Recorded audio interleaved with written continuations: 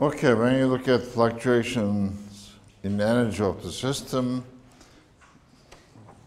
the usual definitions you should be able to do.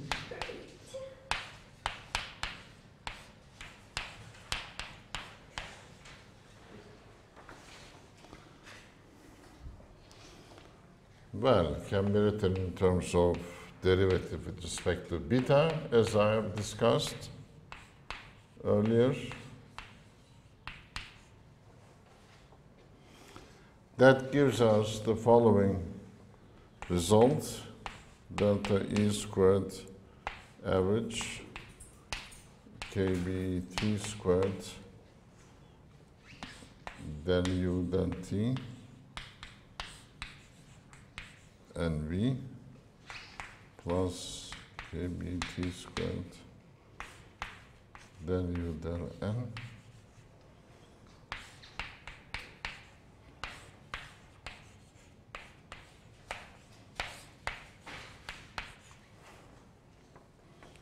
Since this is heat capacity at constant volume, this is the earlier canonical result.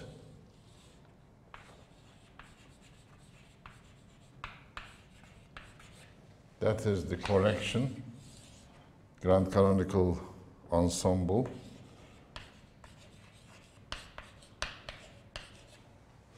Since I have already distributed the lecture notes to you on this subject, you can see that this is exactly equal to delta E squared average canonical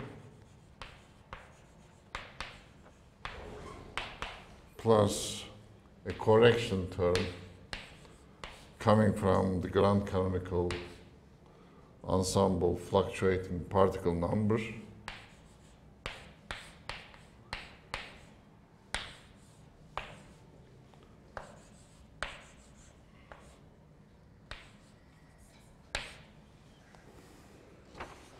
And the, the correction is related to fluctuations in the number of particles. So there is a connection because both are fluctuating. But we have shown for a specific example that this fluctuation is very small unless you are close to a phase transition okay, that correction is quite small correction. So we have almost the previous canonical ensemble result, okay, where the fluctuations in energy is related to another response function, heat capacity. What type of response is that? Of your system. Why do I call it a response function? Because C is dq dt, isn't it? dq dt means when you give heat to the system, how its temperature is changing. It's a measure of change in temperature when you give heat to the system, when you heat the system heating your system is possible because it is exchanging energy with the heat reservoir. Are these making any sense to you? It is quite reasonable, isn't it? Extremely important.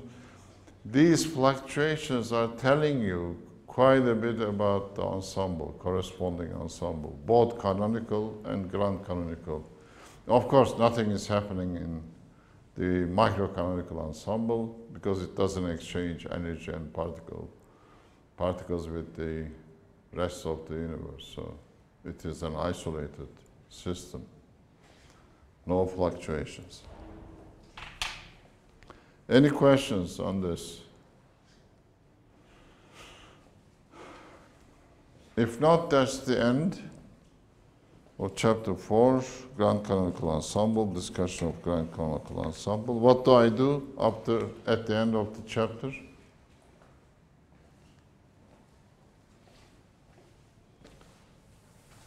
Huh? I give the homework.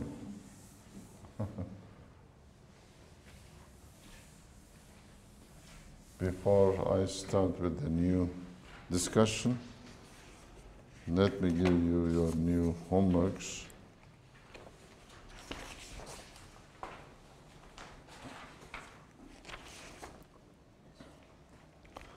Homework number is in line with the chapter number.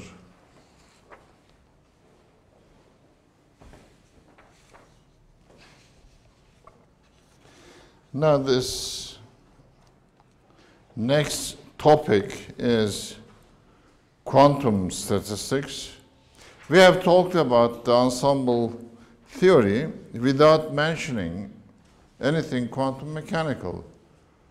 Well, Hamiltonian, we did mention it in the form of energy, but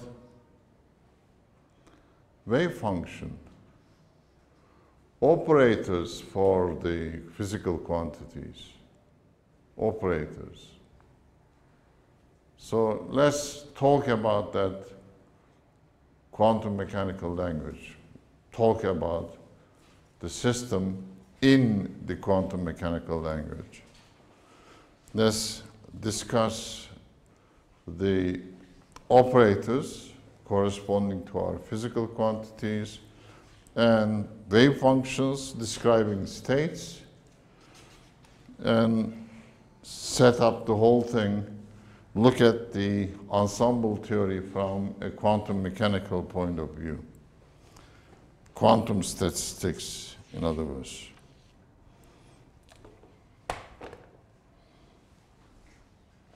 So,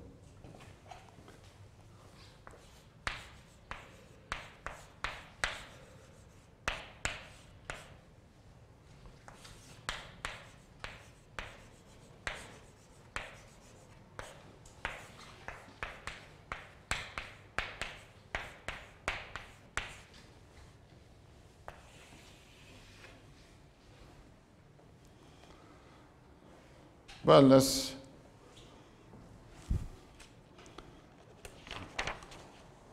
define what is important as far as statistical mechanics is concerned. And the first thing that I will concentrate on is the density matrix.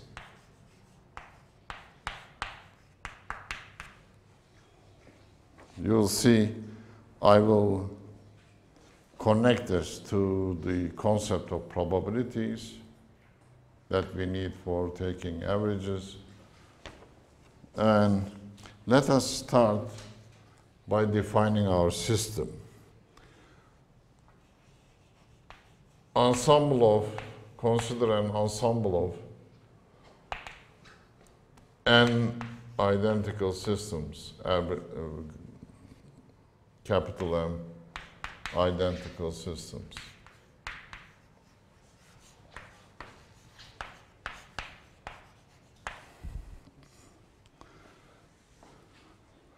All these systems will be characterized by the same Hamiltonian. These systems will have same Hamiltonian operators. When I put a head it will show the operator character of that quantity. So our systems will be described by the same Hamiltonian. We are going to consider a collection of these. At time t,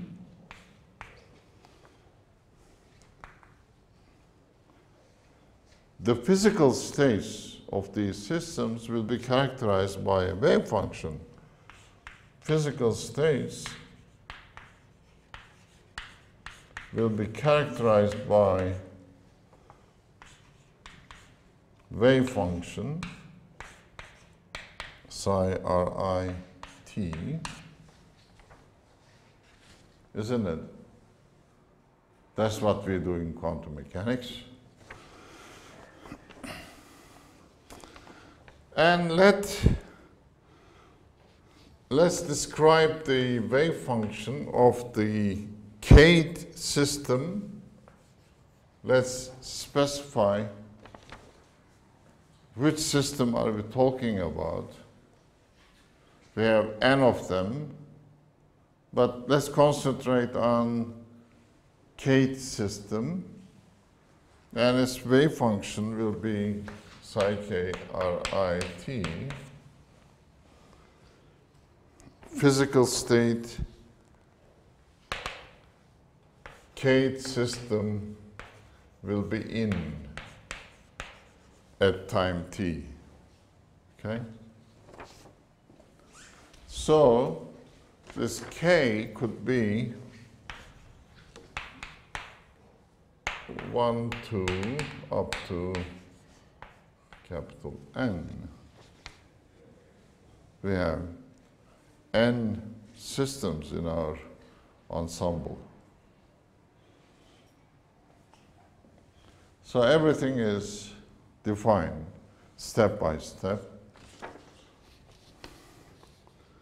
The time variation of this is going to be given by the Schrodinger equation, isn't it? Let me write in a shorthand function of time. So it is time-dependent Schrodinger equation.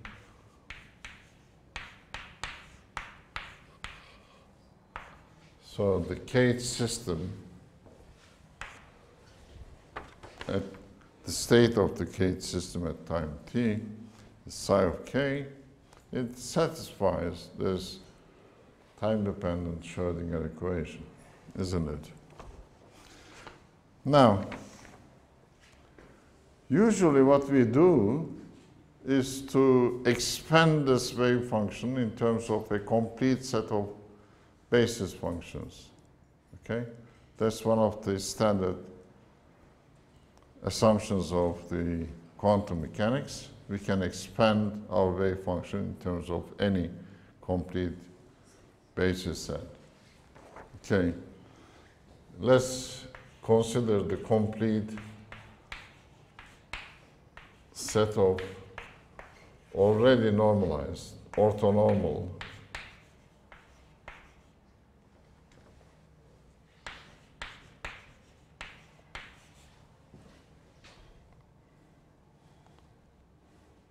functions. Let's take them to be phi of n. Okay? We can expand our wave function in terms of phi n as follows. Psi for the kth system can be written as a combination of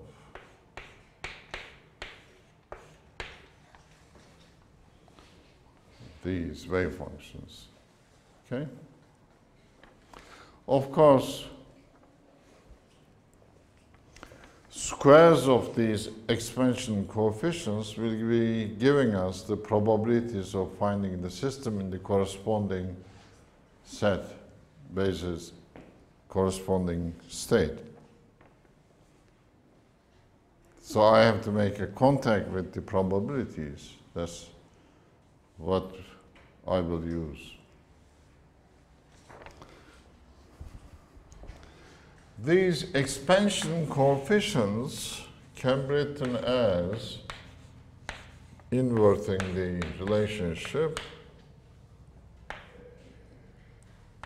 when phi n star psi k d tau d tau is the volume element in coordinate space, isn't it? You can write it as d omega, whatever you like. Let's call it d tau. So you are multiplying this with phi star and integrating. Since these are all normalized, that will give, give you the expansion coefficient, isn't it? So, the physical state of the kth system can also be described equal well with this expansion coefficient. It is a very specific thing. It, it is related to the state of the kth system. So let us use this.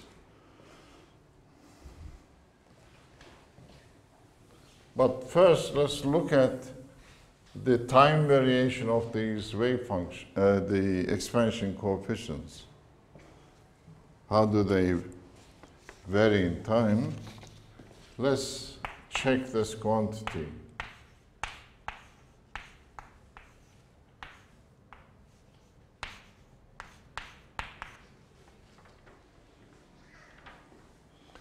Well, if you look at this, quite simple to see that this is nothing but the only thing that varies in time is this state function. It is this.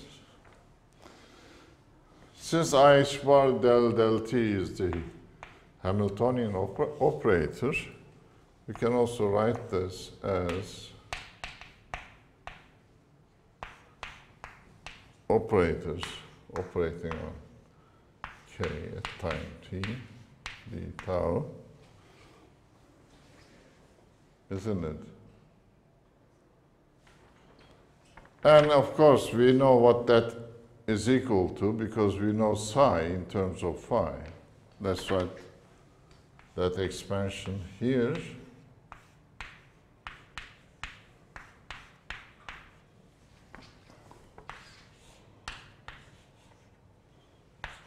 Dummy variable, we have to use a different one.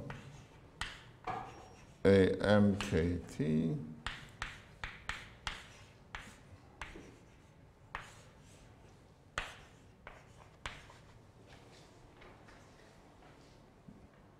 Okay? So, we end up with an equation which has matrix elements of Hamiltonian operator in terms of basis functions. Isn't it? So let's rewrite that.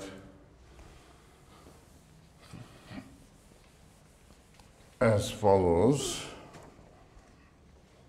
That is equal to the sum H and M A M K T, isn't it?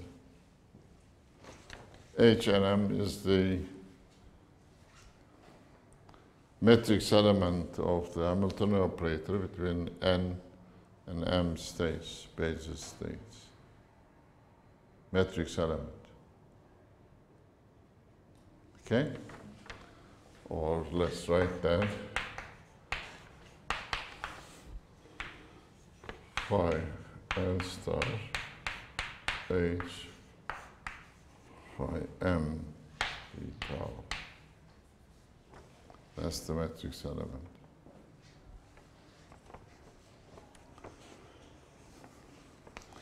Well, since these A's are probability amplitudes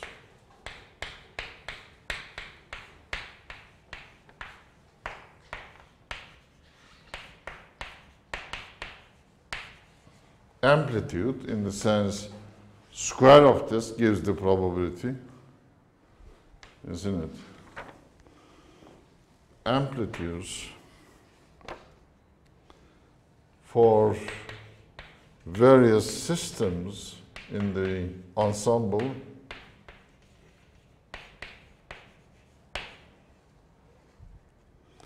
to be in various states.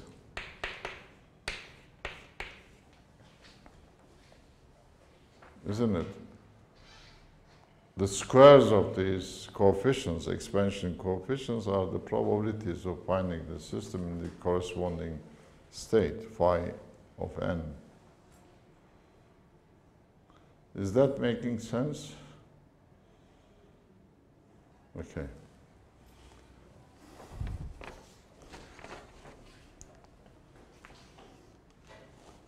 So the probability is psi nk t squared. This is the probability.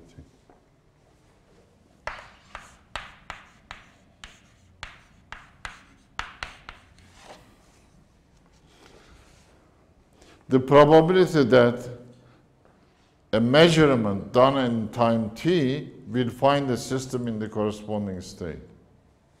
Okay? If these are probabilities, the sum over them should be equal to 1.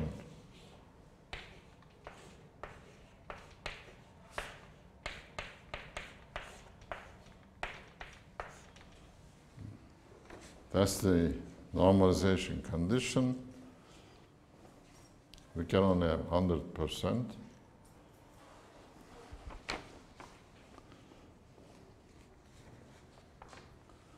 Now we are in a good position to describe the, define the density matrix in terms of these coefficients of expansion. So that will take us to the probabilities we need for taking averages. That's the statistical part. Let's define or introduce the density operator.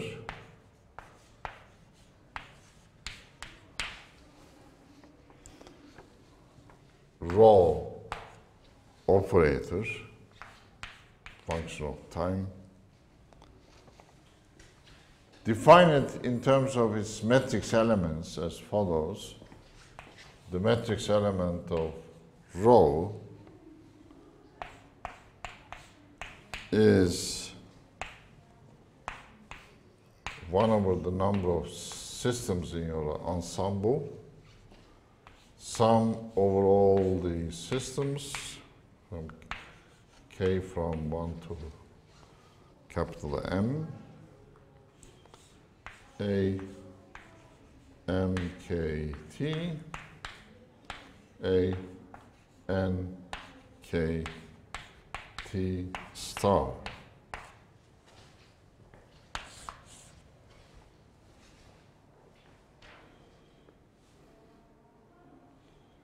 That's the definition of density matrix.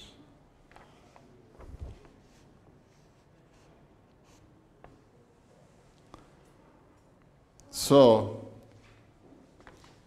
this is nothing but ensemble average of that multiplication of two expansion coefficients.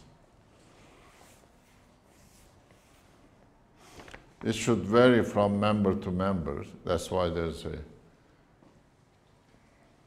dependence on the members of the ensemble. It's an average. What are the uh, well? What are the diagonal elements of these metrics? And what are the non-diagonal elements?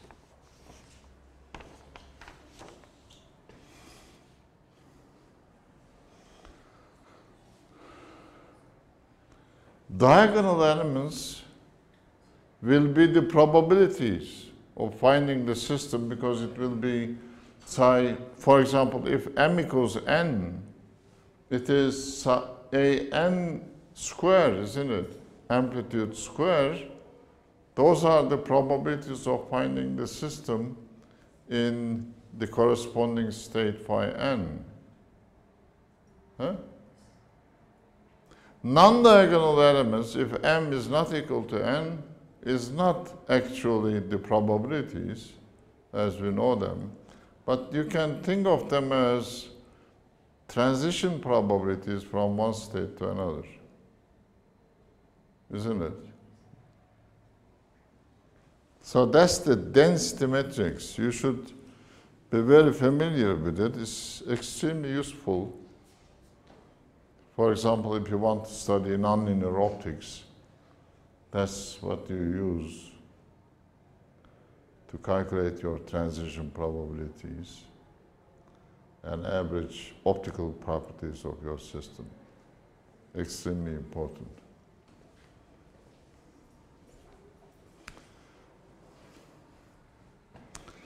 Okay. With this definition, now we are going to be ready for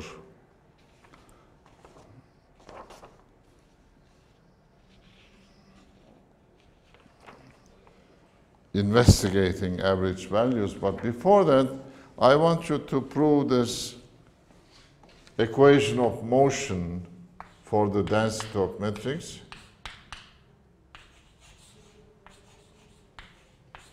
Why don't you show, very easy to do, the following equation.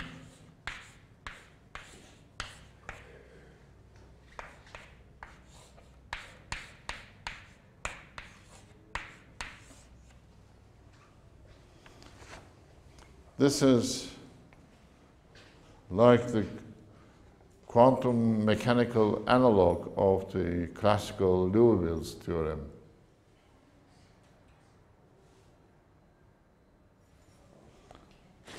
Okay.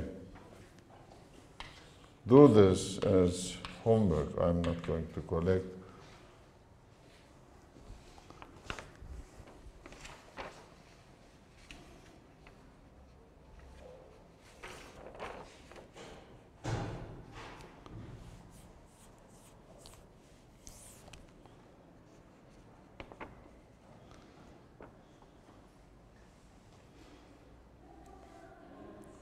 Now, looking at this, then, if the given system is known to be in equilibrium, no changes, then of course the rate of change of the density matrix elements will be zero, and the but that is time independent,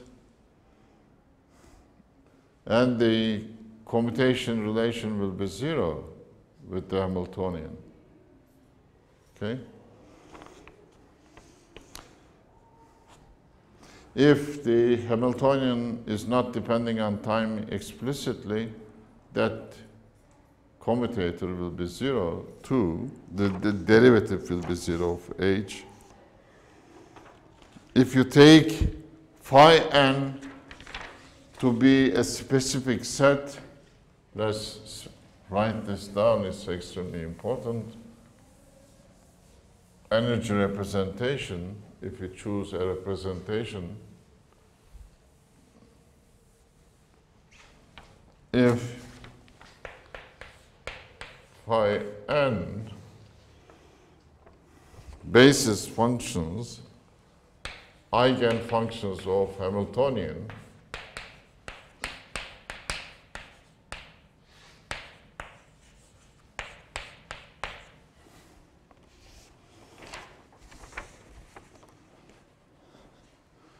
then both h and rho must be diagonal.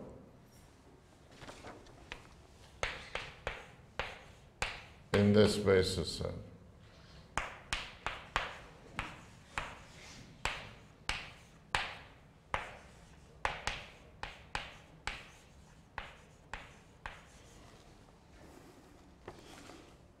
This is the so-called energy representation.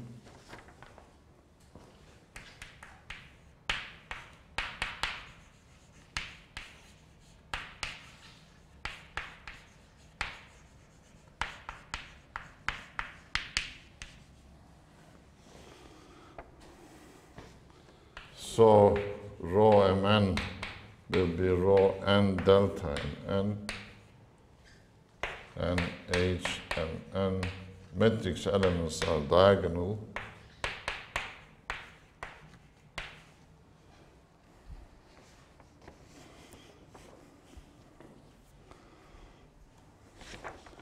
Rho must be symmetric. You should go back to your quantum mechanics.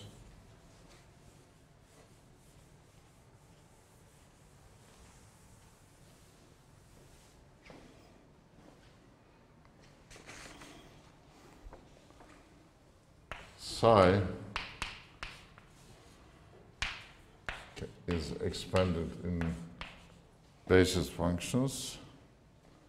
Rho can be written as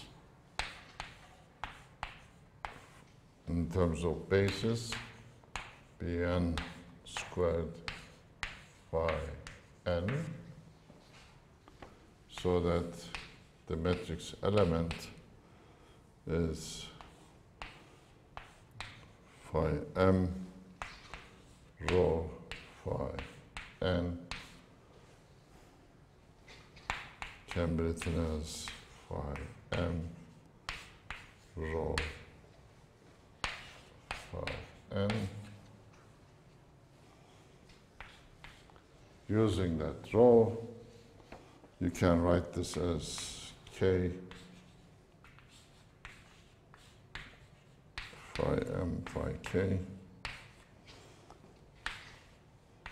bk squared phi k phi m. So it is delta m n b n squared or delta m n rho n if you like. And it must be symmetric, rho must be symmetric.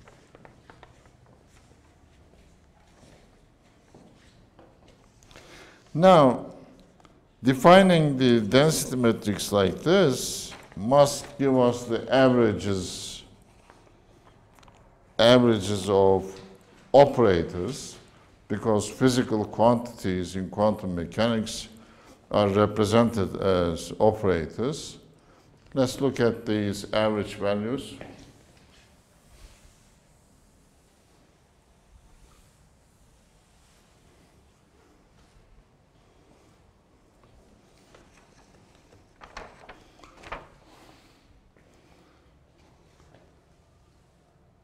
Physical quantity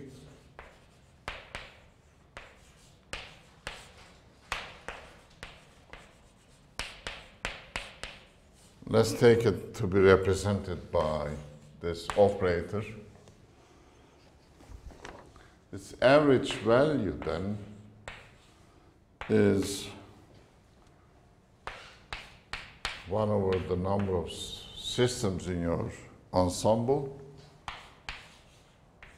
k from 1 to n, psi k star operator psi k d tau, isn't it?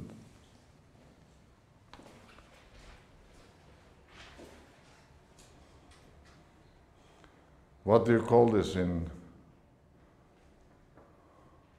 quantum mechanics? Expectation value, isn't it? So, if you expand these two functions in terms of bases, in terms of an, you can rewrite this as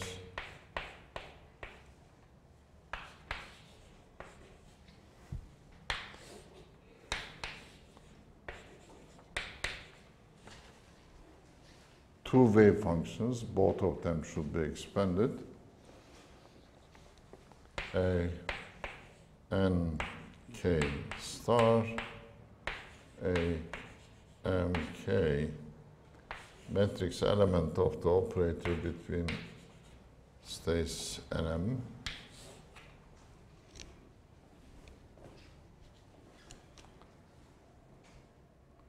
Okay. One of the expansion coefficients should be Hermitian conjugated complex conjugated in some sense. So it is corresponding to this wave function. and the matrix element of the operator is nothing but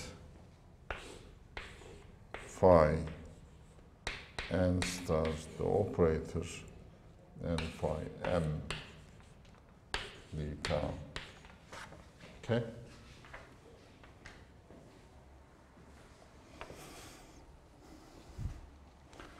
Now let's introduce our density matrix. Now we are at that point. We have the expansion coefficients multiplying each other.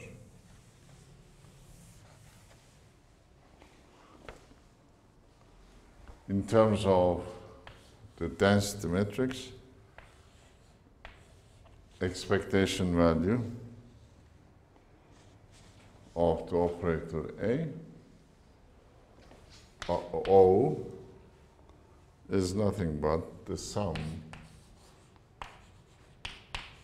Mn rho Mn operator matrix element and M. Here it is, it comes naturally to the expectation value, the average value of that operator in statistical terms as matrix elements of the operator summed over and multiplied by the density matrix. That's the important thing. You can also write this as a single sum, if you like, multiplying to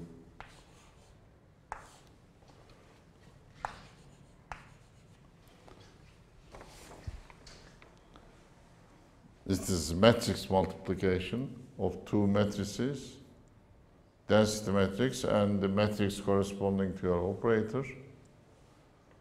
Oh, that's a sum over the diagonal elements. What is that in quantum mechanics?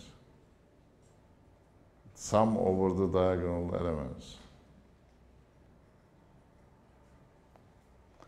Trace. How do you forget this?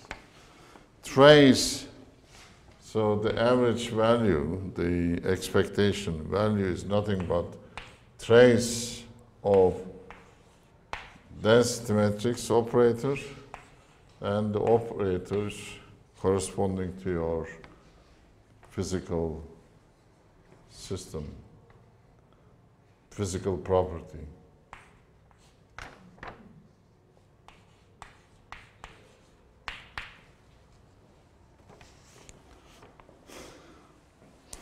If you take the operator to be unit operator, if the operator is taken to be a unit operator, then trace of rho comes out to be equal to 1. Well, trace diagonal elements are probabilities.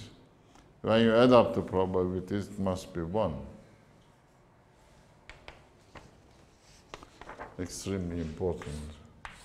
So you are dis discovering the properties of the density matrix and that's the quantity you should learn to relate everything to statistical mechanics. So, taking everything quantum mechanically as you are used to. Okay. You can also write the expectation value, the average value, in terms of traces. So if original wave function not normalized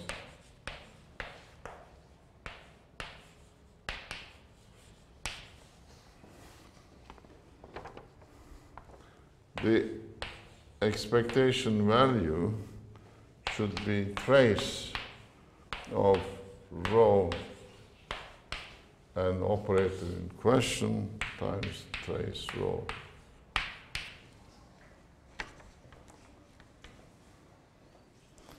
Otherwise, It is just trace rho times the operator.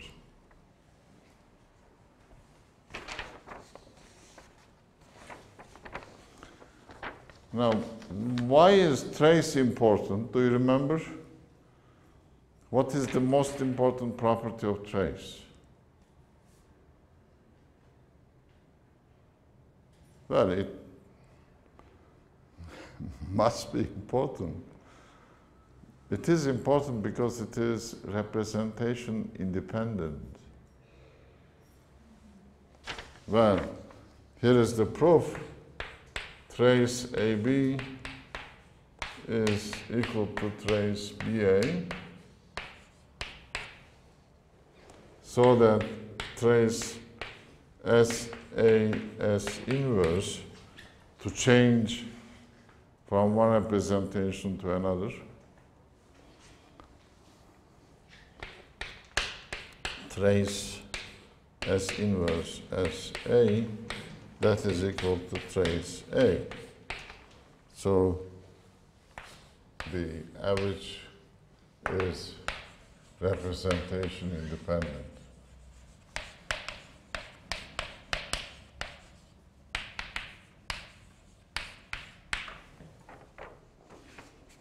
extremely important.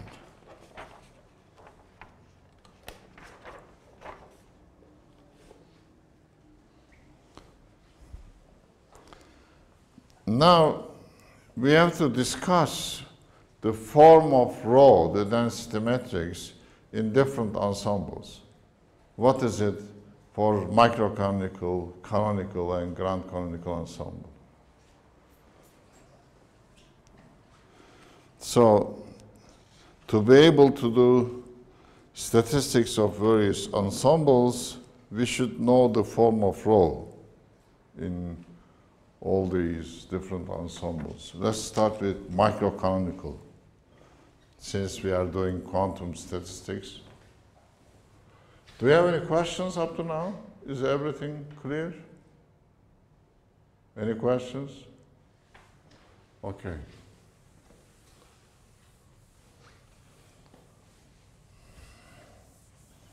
Let's look at the microcanonical ensemble.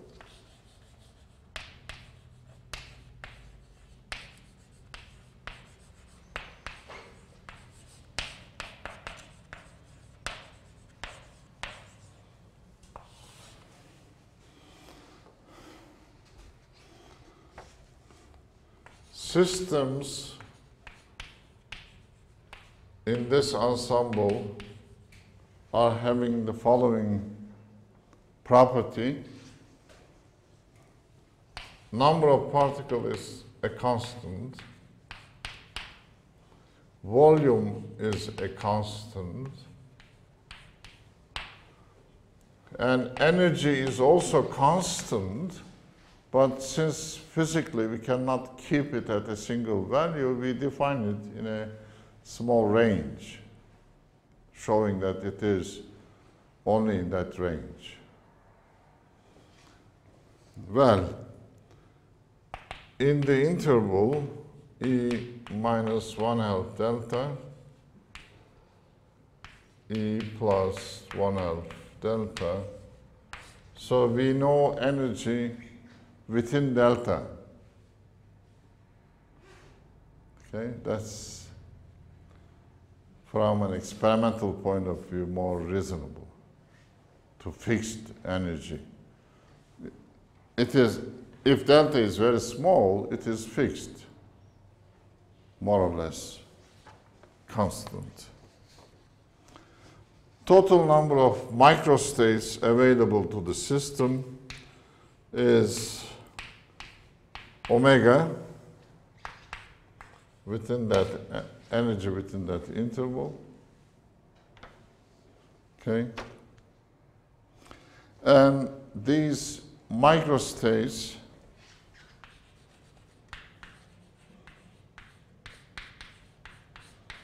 with that total number are equally probable, isn't it?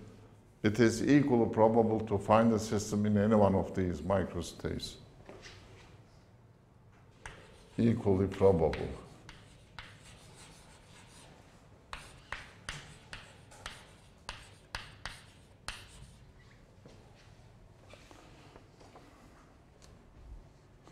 This is postulate of equal a priori probabilities.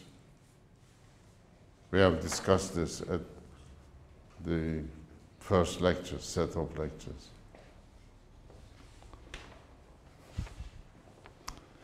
The density matrix in this ensemble will have this following form.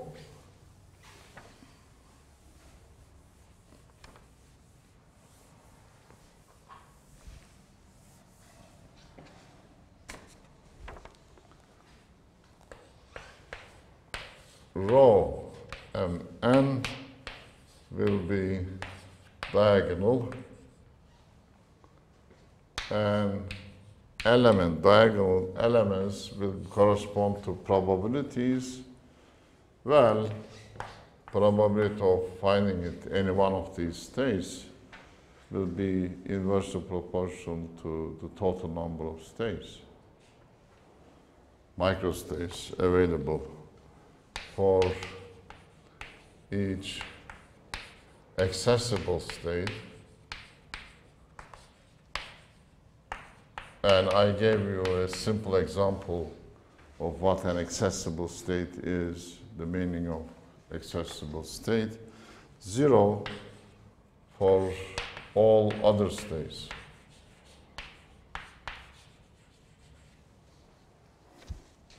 And of course, the contact with thermodynamics was established by logarithm of that number. Very much the thing that we have done before. Is that okay? Do we have any questions? Anything? Ask something. Okay, thank you. Let's give a small break.